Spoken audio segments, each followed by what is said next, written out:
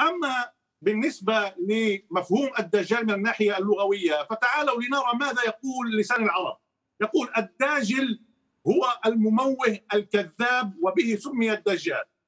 الدجال يخرج في آخر هذه الأمة سمي بذلك لأنه يدجل الحق بالباطل. وقيل بل لأنه يغطي الأرض بكثرة جموعه.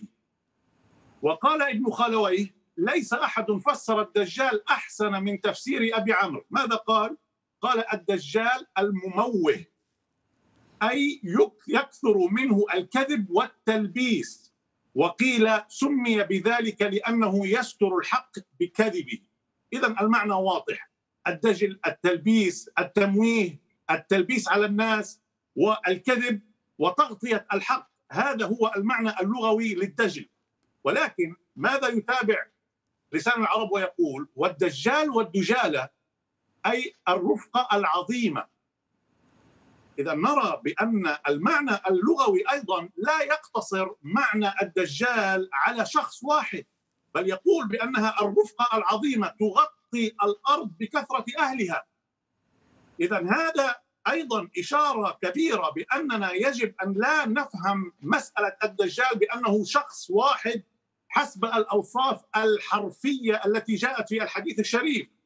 فهو يقول وقيل هي الرفقة تحمل المتاع للتجارة قال أبو العباس سمي الدجال دجالا لضربه في الأرض وقطعه أكثر نواحيها وقال مرة أخرى سمي دجالا لتمويهه وتلبيسه وتزيينه الباطل ماذا جاء في المنجي الدجال أيضا الكذاب. ومنه المسيح الدجال الكذاب الذي سيظهر في آخر الزمان والدجال الدجال الرفقه العظيمه تغطي الأرض. فباختصار مفيد نرى بأن الدجال هذه صيغة مبالغة من الكذب والتمويه والتلبيس والتدليس على الناس وليس هذا فحسب هذه هي الأوصاف التي سوف يتصل بها الدجال ولكنه ليس بالضرورة أن يكون شخصا واحدا وإنما تكون جماعة كبيرة من الناس التي تغطي الأرض وتسيح في هذه الأرض وتنتشر في هذه الأرض وتسيطر على هذه الأرض. فهذه المعاني اللغوية تسعفنا في فهم الأحاديث الشريفة التي تحدث بها سيدنا محمد صلى الله عليه وسلم عن الدجال وعن أوصافه لكي نتعرف على هذا الدجال مثل ما سوف يعني نبينه من خلال الأحاديث في هذه الحلقة.